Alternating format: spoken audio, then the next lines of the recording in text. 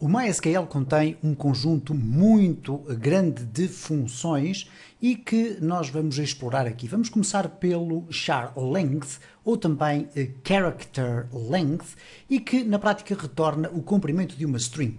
Vamos ver, por exemplo, o que é que acontece quando nós executamos esta query. Ok? Temos aqui o retorno de 32 resultados resultantes desta query. O que é que esta query naturalmente está a fazer? Está a perguntar o nome de todos os sócios cujo char length de nome seja maior ou igual a 25. Ora, significa isto que nós estamos a pedir que ele nos devolva apenas os sócios cujo nome tenha um conjunto de caracteres, um comprimento de caracteres superior ou igual a 25. Portanto, um nome com mais ou hum, igual a 25 letras. O que nós podemos fazer também é aproveitar o char length e pedir para que ele também seja apresentado como resultado. Quer dizer que se eu agora atualizar a minha query, eu vou não só ter o nome de cada um dos sócios que contém um uh, nome com mais ou uh, igual a 25 letras, como também tenho aqui à minha frente o conjunto total de letras de cada nome de sócio.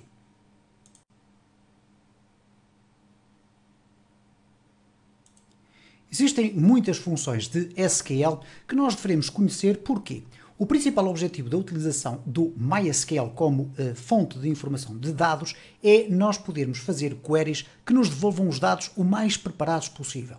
E muitas vezes o MySQL pode ser a uh, ferramenta uh, que nos vai permitir ter a informação já formatada e pronta a ser apresentada. E o caso concreto do concat, que neste caso significa a expressão concatenação, é exatamente isso. Vamos verificar aqui o que é que diz esta query.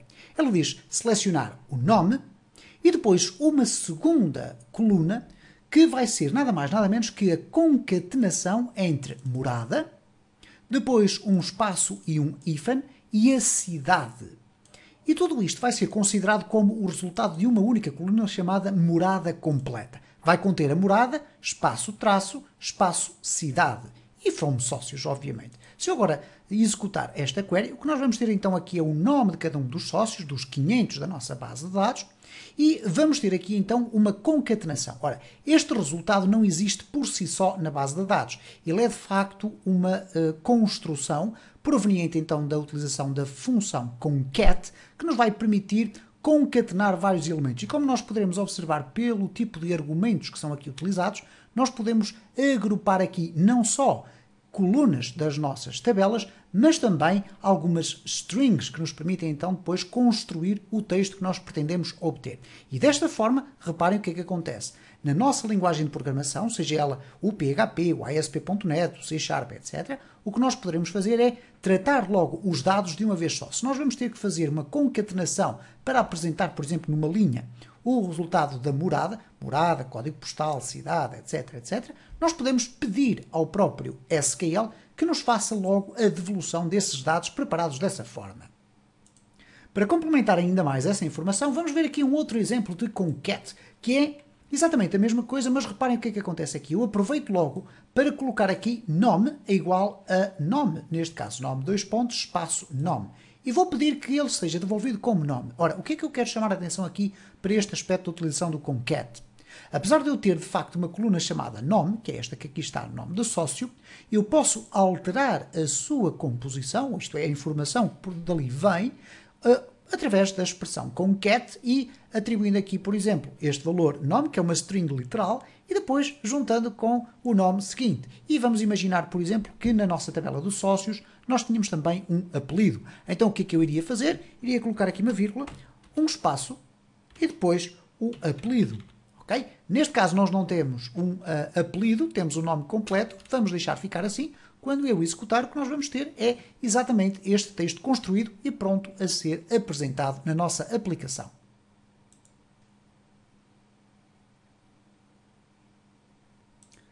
Uma outra função muito semelhante ao concat, que significa, e volto a repetir, concatenação, isto é, junção de vários elementos, é a função concat underscore ws. E o que é que ela significa na prática? Eu vou colocar aqui uma query e na prática diz o seguinte, eu vou fazer um select e depois utilizar a função concat underscore ws. E depois temos ali vários parâmetros. Mas aqui, muito importante, o primeiro parâmetro é o caractere ou conjunto de caracteres que vão constituir o símbolo de separação entre todos os restantes elementos que vão aparecer por aqui. Ora, eu estou a devolver isto como uma coluna chamada valor a partir da tabela sócios. Reparem qual é o resultado. Eu tenho nada mais, nada menos do que o nome e depois este conjunto de caracteres colocados ali para separar do segundo elemento, que é a morada. Tenho depois a morada, ok? E depois tenho novamente a repetição deste elemento que aqui está, para depois finalmente apresentar aqui a cidade. Portanto, nós podemos utilizar o concat underscore ws para fazermos um output de uma formatação já de valores separados, por exemplo, separados por vírgulas, porque não? Apesar de nós termos aqui vírgulas também na nossa morada, nós podemos separar os nossos elementos de forma a que, por exemplo, nós possamos utilizar um caractere que depois nos possa fazer um parse, isto é, uma separação de valores dentro da nossa aplicação. Por exemplo, se eu agora executar aqui, nós vamos ter todos estes elementos divididos entre si por ponto e vírgula, o que quer dizer que são eh, ou estão preparados para virem já formatados no sentido de poder ser por exemplo, exportados para um fecheiro CSV.